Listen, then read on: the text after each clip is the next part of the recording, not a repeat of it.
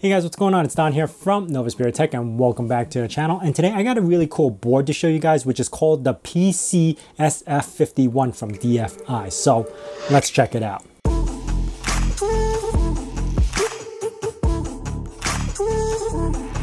Now I do want to thank DFI for sending this over to me and a couple of years ago I did review one of the older boards which is a GHF51 which is classified as the world's smallest Ryzen computer and this is the successor to that using the R2000 series Ryzen embedded chipset. It's called the PCFS51. Now, as far as the form factor, it's exactly the same size as the old board and similar size to the Raspberry Pi. It houses an AMD Ryzen R2514 embedded chipset, base clock at 2.1 gigahertz, and boost up to 3.7. It does have four cores, eight threads, and this particular model has 8 gigs of RAM and 128 gigabytes of eMMC. Now it also does have a GPU in here, which is the AMD Vega, and it has 8 CU clocked at 900 megahertz. And this whole thing is 12 watts. Now I'm going to emphasize on 12 watts a little bit because this CPU combo actually has the range between 12 watts and 35 watts, which means the TDP can go a lot higher if you program it to be.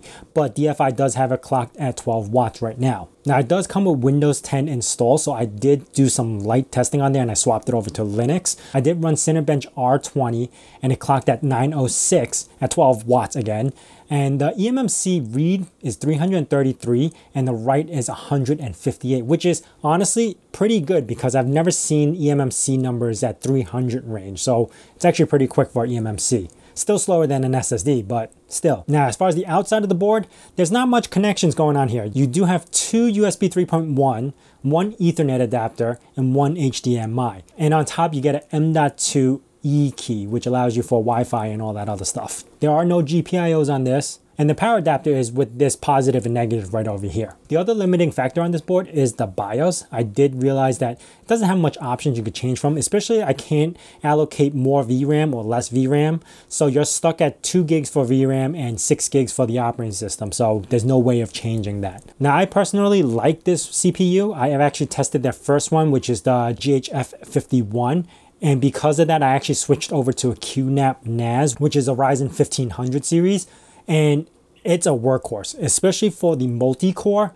It does a really good job on my NAS. I actually have a couple of VMs running in there.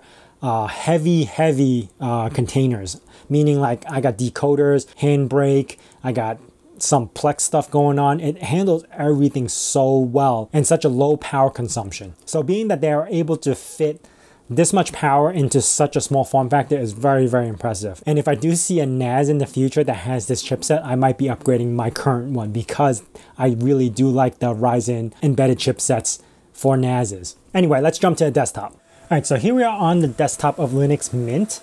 And what I really wanted to show you guys is the wattage and everything. So anyway, please bear in mind that this fan is really, really loud. It's at a fixed rate of 3000. So if you hear the background noise, it's actually just coming from the device itself. There's nothing I could do about it. Uh, they do offer a heatsink variant, which is a bigger heatsink that you go on without a fan. So it's passively cooled. But uh, yeah, the version I got was with the fan. Anyway, uh, we're going to pop into a utility called Turbo Stat and TurboStat allows me to read the wattage of the CPU. So right now, let's see if I could put this up to the corner. I am gonna pop open a new window and pop over here. And then uh, another new window because I'm gonna need this in a sec. So let's pop this new window and pop it to the bottom left. Now, because reading TurboStat is kind of hard to read. You can see it's like doing 5 watts. It's got more information here that we need. So what I'm going to do is actually pipe TurboStat into a plotter. And here we go. That's the command to run uh, TurboStat, uh, TurboStat into a plot. And you can see it's actually doing a minimum of, uh, or a maximum of this, minimum of 0 because it's reading throughout the whole graph. And it's average 4.3. And it's running around 5 watts. Now, if I was to use S TUI, which is a stress test utility. Um, this is monitoring the temperatures right now, the core utilization. The frequency doesn't really work, but you could see it's actually 0 and 2.1 gigahertz, and you could actually see it on the left. Now, if I run stress, you're going to see it only pops up to about 12 watts because it's locked at 12 watts. That's what uh, DFI decides to ship it as. But again, the CPU can go higher. It's, it's, it's rated from between 12 watts to 35 watts. So we can push this board a little bit more. So there's this utility called Ryzen Adjust. And it's similar to the utility you would find a GUI version called Universal x86 Tuning Utility. So I'm gonna run this program called Ryzen Adjust. Let me see if I have it build here. Nope. You do have to manually compile it. And here's Ryzen Adjust. And here's the command that I'm gonna be running, which uh, sets the A, B, and C to 45 watts instead. Even though it's not gonna go that high, uh, I just set it a, little, a lot higher than 12. So as soon as I hit enter on this, it's gonna be successful and you can see the heat instantly pops up the core frequency automatically goes to 3.1 gigahertz. The wattage is 23.4 watts right now. And you're not going to see 45 because we're not really using the GPU. So this is all CPU, but you could see it does accept higher wattage or higher TDP, which allows you to do more processing and a huge change if you need to do a multi-core processing like this with just having this one command. Again, there is a chance it might break your computer, so use at your own risk.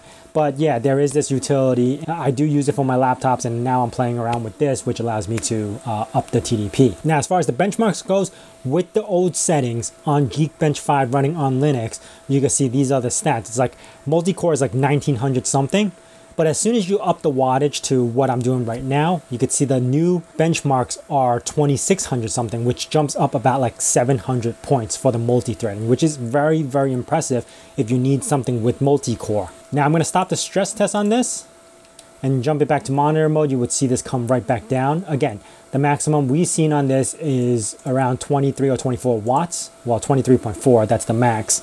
And testing out the GPU a little, we're gonna put some dead cells on, which plays very good on this machine. And I did get um, Mango HUD working on here. And you can see it's only using about like 50, 60% of the GPU usage. I'm getting 60 frames per second. Uh, it's going above the normal clock instead of 2.1. It's already doing 2.8 or something like that. And it runs very, very smooth in this computer. I'm going to jump into a game. And as you can see, super smooth.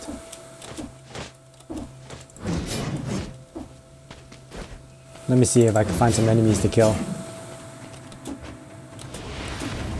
I found a pathway here, a teleporter. Uh, okay. I don't need that. Man.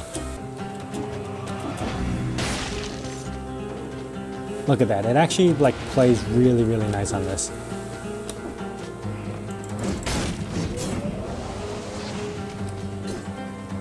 Now, if I quit this and jump into another game that actually is more CPU and GPU intensive, I'm going to show you that in a second, which is Valheim. And you can see it maxed out around like 18 watts before, which wasn't too bad. And let's jump into Valheim over here. And I did set the settings to be as low as possible. So it's got the lowest graphic settings. Um, everything's turned off. Bloom effect. Uh, I do have it in full screen and the resolution is a little bit lower. But ultimately it runs this main screen around 30 frames per second, which is playable. Anything that's 30 frames to me is actually playable because a lot of the Steam Deck games, some of them are locked to 30 frames per second and it's absolutely playable. But you can see I can load into this world. I'm still doing 30 frames per second.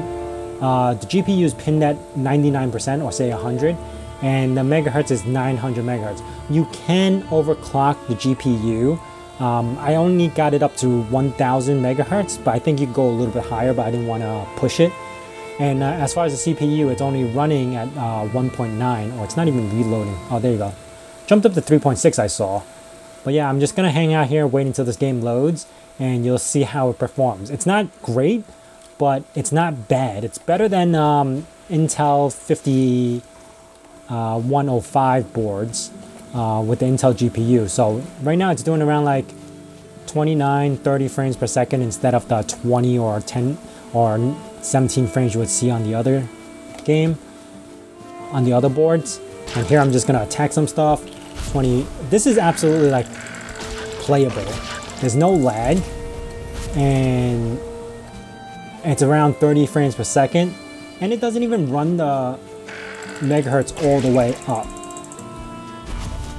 And as far as the temps go, you could see it's hovering around like 58 to 60 uh, degrees.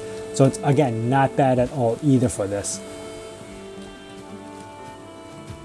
Now I couldn't get the wattage to work on Mango HUD. That's because it has to do something with the kernel and you have to install a new thing with DKMS. It's a whole thing just to get the wattage to view on uh, Mango HUD. So instead of doing that, I'd rather just not have it at all. Um, but yeah, let me close this out. And you could see it was pinned around 21 max. So I didn't really necessarily see 45 or 35 like I wanted to, even though I have it set to that rate, but it does bump up to that point. And the gameplay is actually not that bad compared to most um, Intel GPUs. Anyway, that is it for the board. Now, honestly, this is again really for industrial purposes, not for consumer purposes, because the price tag on this is a little bit high compared to what you would find on similar boards do similar things. But again, it's for industrial purposes. They even have a bigger power brick for this reason. Now, for my own purposes, the only thing I could think about using this is really for like transcoding a Plex server or something sort of in the lines of multimedia or transcoding to um, utilize the CPU and the GPU in this type of combo and in this type of form factor. I wouldn't necessarily categorize this as a desktop or um, SBC like you would on a Raspberry Pi because it doesn't have any GPIOs, but it's a pretty cool device.